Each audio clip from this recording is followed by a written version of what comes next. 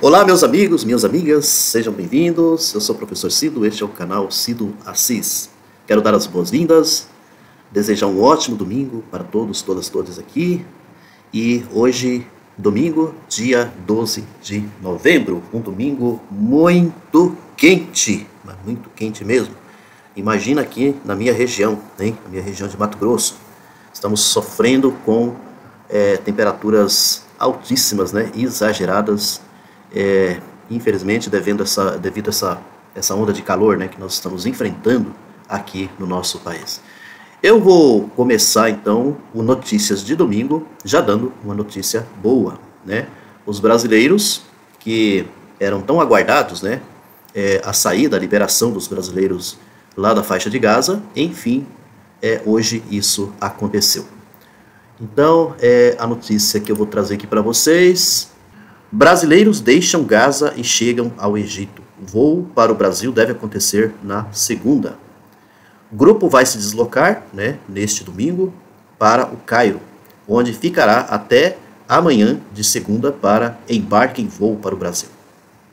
Quando o pouso acontecer no Brasil, o total de repatriados chegará a 1.477 pessoas. Isso é o total, né? Total dos repatriados. Após várias tentativas frustradas para deixar a faixa de Gaza, 32 brasileiros e familiares chegaram ao Egito na manhã deste domingo, tá? informou Itamaraty. Segundo o órgão, o voo para o Brasil deve acontecer na manhã de segunda-feira, dia 13. O grupo de 32 brasileiros e familiares já se encontra em território egípcio, onde foi recebido por equipe da Embaixada do Brasil no Cairo, responsável pela etapa final da operação de repatriação, afirmou o, o órgão. Então está aqui essa é uma notícia muito importante, né? É, a previsão é de que esse trajeto seja concluído por volta das 20 horas no horário local, 15 horas de Brasília. É, eles ficarão na capital egípcia até amanhã de segunda, no horário local, para o voo de retorno ao Brasil na aeronave presidencial v, VC-2 Embraer 190.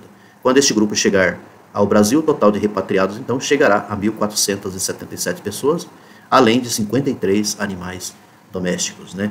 Eu tenho um vídeo aqui, vou tentar aqui reproduzir esse vídeo, é, sobre é, esses brasileiros, né?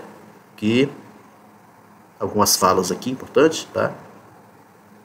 Hoje é 12 de novembro de 2023. O ônibus já chegou, são 7h47 e é isso. Entrei no ônibus, aqui tá a. Cadê você? E aqui fora com a gente. E a minha avó tá lá na frente.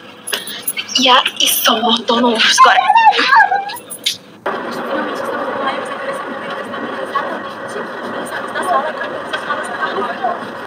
Bom dia, de novo. Vamos tentar hoje travessia fronteira. Espero que hoje dá certo. O grupo do Canhones todos já estão no ônibus. Então eu acredito hoje vai dar certo. Grande chance. Aquele vez foi fechada, mas dessa vez grande chance que a gente sair. Bom dia, gente. Ah, bom dia, gente. A gente, a gente na fronteira, desculpa. a gente chegou aqui na, na fronteira lá do Palestino. Espera que a gente daqui a pouco ir para lado do, do Egito. Rezam para nós. Bom dia, Brasil. Bom, gente, eu não, tô, não vou passar toda, né, todo assim o vídeo, até por uma questão de direitos autorais e tal, né, a gente pode até correr risco devido a isso, mas como vocês veem, né, a animação aqui, a alegria, né, no, no fato de, de conseguirem, né, ganhar essa liberdade, isso é muito importante, né, e aí então nós temos aqui algumas informações também, outras informações que eu quero passar para vocês a respeito, é, sobre, é, é, é, o, no caso, né, o Brasil conseguir, né, então que esses brasileiros cons, é, consigam, então, se libertar, né, isso é uma liberdade, pode dizer que, que sim, né, então tem essa notícia aqui, Lula comemora a saída de brasileiros da faixa de Gaza, virão em segurança para o Brasil na operação Voltando em Paz, né, então o grande esforço, né, do presidente Lula, tá, é, para poder uh, repatriar esses brasileiros desde o começo, vocês sabem muito bem, eu acho que é indiscutível isso, né? O esforço do, do, do presidente Lula, né? Do, do Brasil, tá? É, aqui tem um que o Lula postou, né? No, no, no, X, agora é o X, né? Não é mais o Twitter, né? Os, os brasileiros já atravessaram a fronteira e se encontram no Egito, de onde virão, em segurança para o Brasil, na operação Voltando em Paz. Importante, né, Luna? Parabéns. É, eu vou passar uma outra notícia aqui para vocês que diz respeito do Biden, né? Biden e Netanyahu são cúmplices nos crimes de guerra, diz analista geopolítico. Olha só. O John Marsheimer afirma que o plano é matar toda a população de Gaza. Olha, isso é um, um analista, né, de geopolítica. Aí diz assim: Israel está empreendendo uma campanha de punição em Gaza. Estão punindo a população civil. Os israelenses estão interessados em causar uma enorme destruição em Gaza. E no processo, eles vão matar um grande número de civis. Parece-me que quando você faz isso, você está cometendo crimes de guerra. Já cometeu, né? Já cometeu crimes de guerra aqui. Eu acho que isso é indiscutível, os crimes de guerra. Eu acho engraçado, é, eu queria até é, aproveitar aqui, né?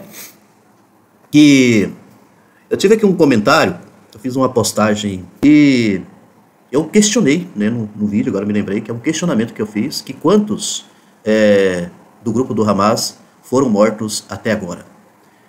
Quantitativamente, quantos que foram mortos até agora. Aí a, o objetivo né, do, do vídeo até que eu postei era de levantar uma, uma reflexão, de chamar a atenção de que a gente tem que ver ou tentar observar algo a mais que está por trás de tudo isso não é apenas uh, atingir o Hamas, né? não é apenas atingir o Hamas. Isso até porque Israel já vem invadindo, né, colonizando. Isso são vários, vários analistas, não são poucos que falam sobre isso, né? sobre a colonização de, da Palestina sendo colonizada por israelitas. Quer dizer, o que, que é isso?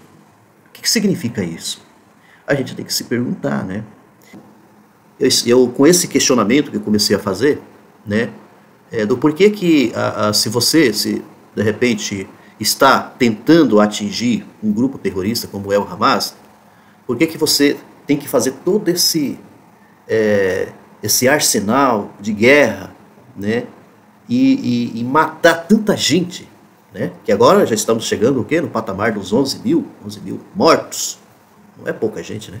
Você provoca um extermínio por causa do Hamas, que não é um grupo grande, é um grupo pequeno né?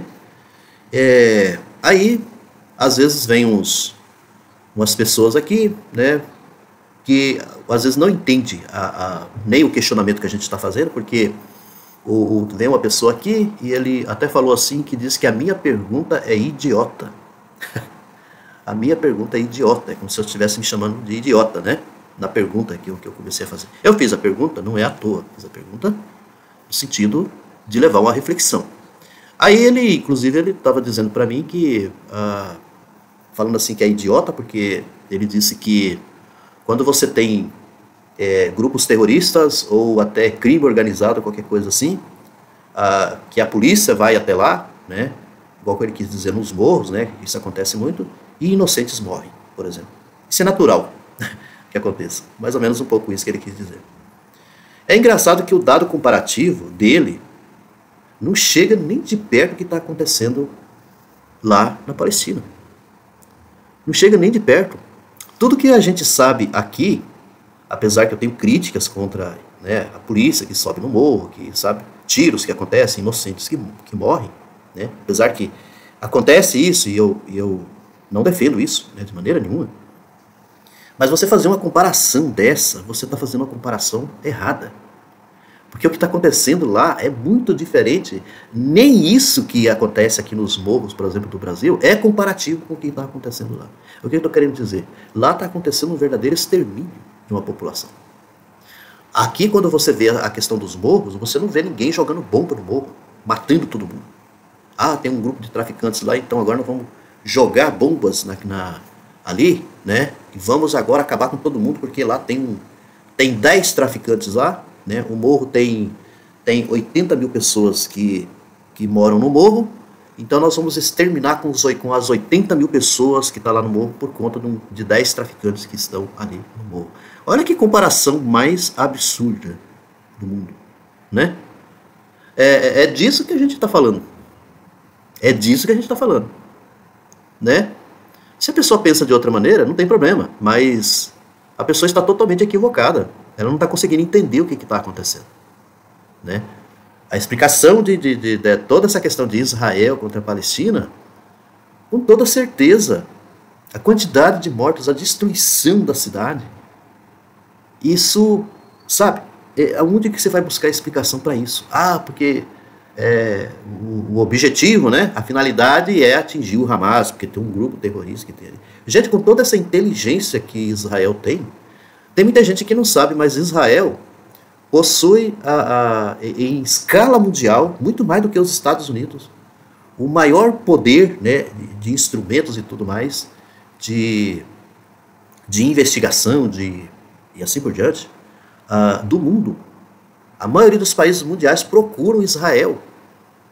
E com todo esse poderio que Israel tem de, de conseguir, sabe, é, é saber aonde. É, dizem que os instrumentos, por exemplo, ali de Israel que capta, é, né, é, ou que consegue é, descobrir, ou saber até de, de, de, falas de pessoas ou qualquer coisa assim. Vocês querem saber de uma coisa? Dizem que eles têm instrumento lá que você pode estar com o celular desligado, que eles conseguem captar, eles conseguem saber, eles conseguem gravar falas, eles conseguem um monte de coisa.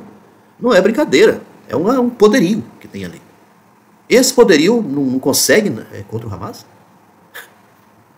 Não consegue contra o Hamas? Essa é a questão que fica. A, a, o, quer dizer, você poderia levar tempo, é igual o, o, o que está acontecendo aqui também, o que pode acontecer no nosso país, né? Com essa luta contra crime, crime organizado, contra não sei o quê, contra tráfico de drogas, essa coisa toda. Quanto tempo que você vai levar para você poder fazer tudo isso? Leva um tempo enorme, porque tem investigações, tem um monte de coisa que envolve nisso aí.